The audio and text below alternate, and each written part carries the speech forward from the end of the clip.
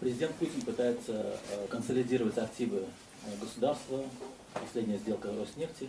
В то же время мы слышим о примере, что нужна приватизация. И даже э, говорят о каких-то сроках.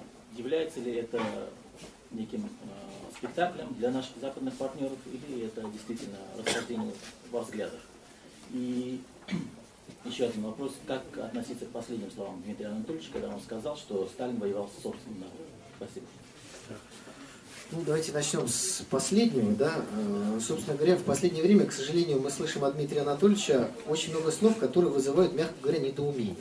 Если поначалу мне казалось, что он, может быть, действительно как вот там какая-то э, разыгрывается какой-то спектакль для наших партнеров, то в последнее время у меня складывается стойкое впечатление, что Дмитрий Анатольевич как не бывало искренен.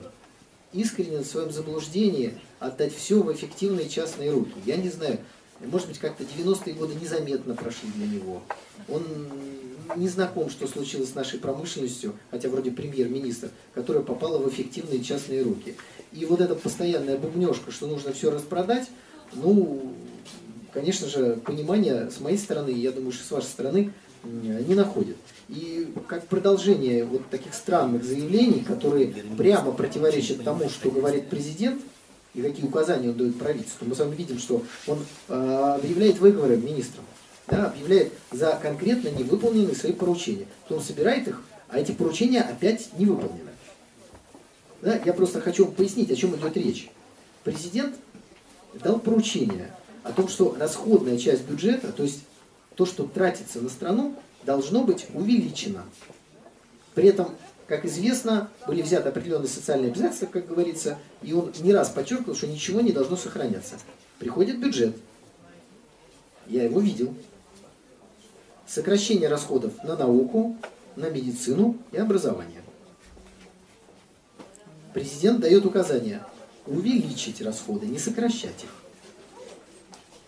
Второй вариант бюджета – все то же самое. Расходы 2013 года – практически такие же, как 2012. При том, что если мы посмотрим динамику предыдущих э, значит, бюджетов, каждый год и доходы бюджета, и расходы росли примерно на триллион. И вот в 2013 году тот же самый бюджет, при этом сокращение расходов. Почему? Потому что вот этот лишний триллион, спросите себя, куда он пошел? Куда его планирует направить правительство? Я вам скажу, куда. В резервный фонд. Что это значит?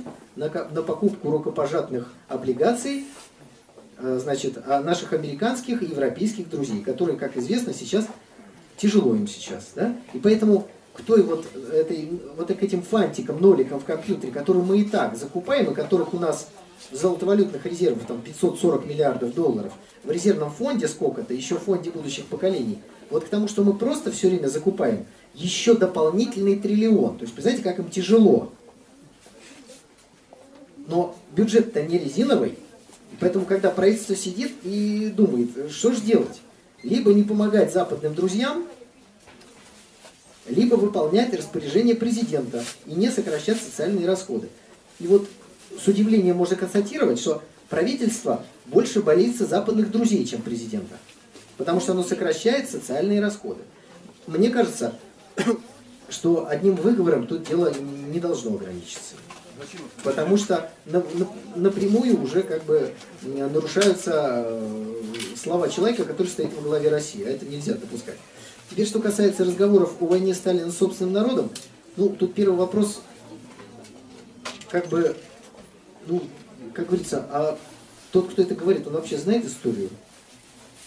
Ну, ну, ну, ну, просто странно. Ну, может быть, читал не те книги. Поэтому у меня есть надежда, что Дмитрий Анатольевич, может быть, как-то ознакомиться с моей книгой, и, может быть, изменит свою точку зрения, потому что я знаю многих людей и уже получаю от них письма, которые, прочитав мою книгу, говорят, что, знаете, моя точка зрения на то время и на фигуру Иосифа Виссарионовича, ну давайте так скажем, мягко, подверглась сильной коррекции после прочтения вашей книги. Поэтому, ну, давайте пожелаем Дмитрию Анатольевичу прочитать мою книгу. Я думаю, что э, посильный вклад могут внести все пользователи Твиттера, Фейсбука и э, других социальных сетей, потому что Дмитрий Анатольевич точно читает то, что ему там пишут.